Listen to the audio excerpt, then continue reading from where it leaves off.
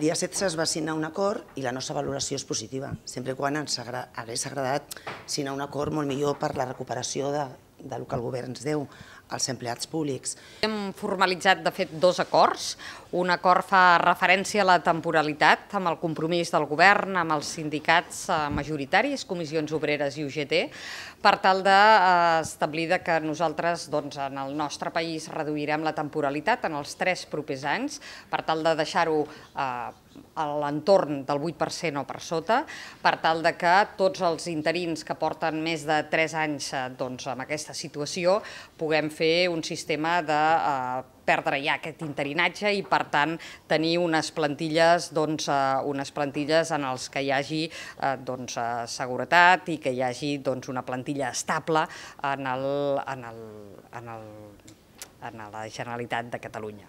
D'acord? Aquest és una vessant, un acord. L'altre acord fa referència a un tema que tenim pendents, que són el retorn de les pagues. Vostès saben que l'any 2018 es retorna la darrera part de la paga del 2012 i hem volgut que l'any 2018 iniciem també el retorn de la paga del 2013. I per tant, en aquest sentit, hem establert que serà el 10% d'aquesta paga del 2013 que es tornarà al 2018 i eh, aquest és doncs, obrir la porta per entendre'ns el que ens vam comprometre a través d'una moció en el Parlament de Catalunya, la primera moció en què es va eh, doncs, establir com es retornaven les pagues del 2012, 2013 i 2014, en la que s'establia com es feia el 2012 i obríem la necessitat d'establir un calendari pel 2013 i 2014. Doncs bé, ja iniciem el que és el de la paga del 2013, això es farà amb un 10%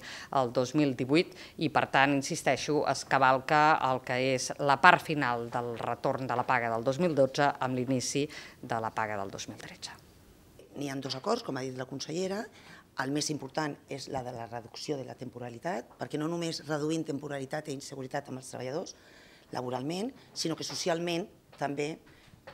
la tassa de reposició es millora per als ciutadans i les ciutadanes, que són els que també han patit aquesta crisi. No? És veritat que la tassa de temporalitat nosaltres la tassem més o menys en reduir-la amb el 8% i el que s'han perdut són uns 50.000 llocs de treball. I en, amb aquesta dada és la intenció de que tenim aquest acord, una porta oberta, una via, un camí per començar a recuperar drets laborals i drets socials que s'han perdut per la ciutadania.